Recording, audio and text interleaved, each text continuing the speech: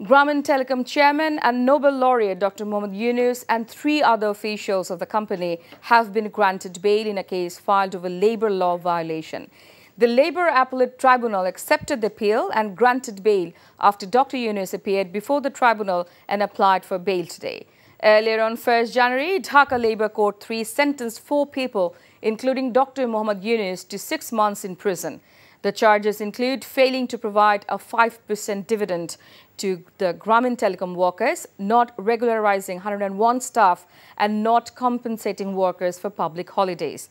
Following the verdict, Dr. Yunus said they are being punished for a crime they didn't commit.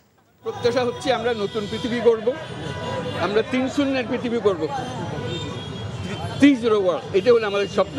এগুলো ছোটোখাটো জিনিস টিকা স্বাস্থ্য দেবে কী দেবে এগুলো নিয়ে আমাদের অত মাথা ব্যথা নেই। একটা জিনিস আপনাদের কাছে পরিষ্কার করি এটা আমার বলা দরকার। সরকার বারবার বলতেছে সকল পর্যায় থেকে বলছে যে এই মামলাটা সরকার করে নেই।